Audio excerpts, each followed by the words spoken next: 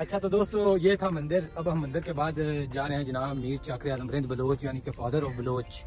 उनके टॉम पे जा रहे हैं। वो हम आपको दिखाएँगे उनका मकबरा और वहाँ पे बहुत ही खूबसूरत जो डिज़ाइनिंग की गई है। आज के मतलब बना, आज उसको रीडिज़ाइन किया गया है पुराने अंदाज में, पुराने रिवाज में। पुराने जो भी है, वो सारा सिस्टम सेट किया गया है और वो बहुत ही प्यारा, प्यारी जगह बनाई गई ये मीर चाकर आज़म के दौर के किले की जो दीवारें आज भी इतनी मजबूती के साथ खड़ी हुई हैं। और देखें उसमें ज़र्रा फ़र्क नहीं फ़र्क नहीं पड़ा। ये वो किले का दरवाज़ा है जो इतना मज़बूत बना हुआ है। और अब इंट्री हम कर रहे हैं, अंदर जा रहे हैं। और हरून को भूख लगी है, हमने सोचा यहाँ पर खड़े होकर समोसे खा लेते हैं आज।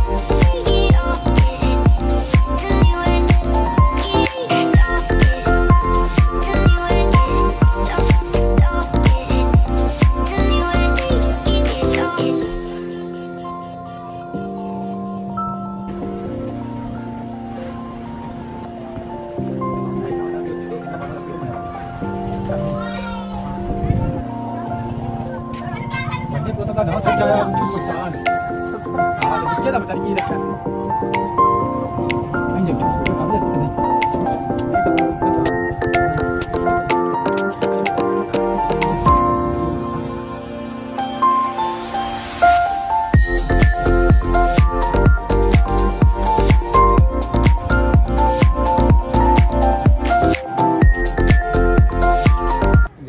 कहा था कि हम अब जा रहे हैं ना टॉम ऑफ़ मीर चाकर आज़म तो हम अब फाइनली हम पहुँच गए हैं मीर चाकर आज़म के जो मकबरा है ना उस पर आपको दिखाते हैं उसकी जो एक बोर्ड लगा हुआ है हिस्ट्री बोर्ड है।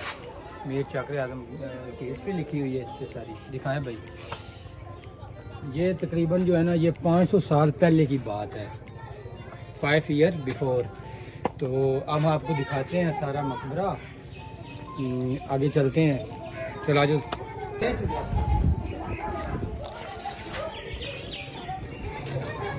ये हम इंटर हो रहे हैं मंदिर के अंदर।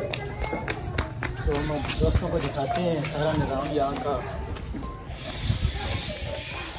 सर्दी है थोड़ी सी ज़्यादा तो ब्लॉग बनाने में थोड़ी सी मुश्किल पेश आ रही है। ये है इसका जो मेन ग्राउंड है। तो इधर लाओ, इधर इधर ये है मस्जिद का मेन जो गेट है। आज संडे है अगर संडे ना आता तो मैं आपको लाजमी दिखाते खुला हुआ है। खुला हुआ है? खुला हुआ है। हाँ, लॉक। मेन गेट होता है। अलग होता है। हाँ चलें खोल के चेक तो करते हैं ना देखते हैं कि खुला है या बंद है। बकरी आज़म रिंद जो बलोचों का सरदार था ये उसका दरबार है। हाँ। चले आपको अंदर की सैर करवाते हो अंदर का माहौल दिखाते हैं। ये उनकी कब्र है। कौन सी सेंटर वाली है? और दुआ करते हैं।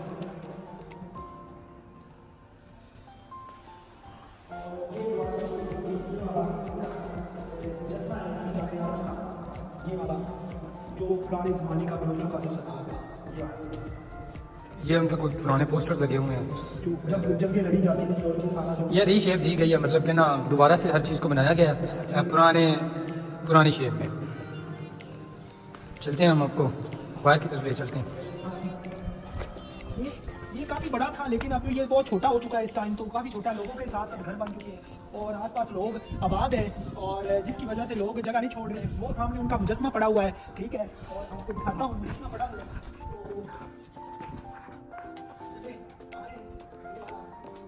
तो ये एक हिस्टोरिकल जगह बन चुकी है। हाल ही में हमारे जो वज़ीर अला थे ना बुजदार साहब, उन्होंने इस पर काफ़ी वर्क किया है, क्योंकि ये उनके जो है वो अबावदार से तलक रखते हैं। इस वजह से उन्होंने काफ़ी काम करवाया किले पे।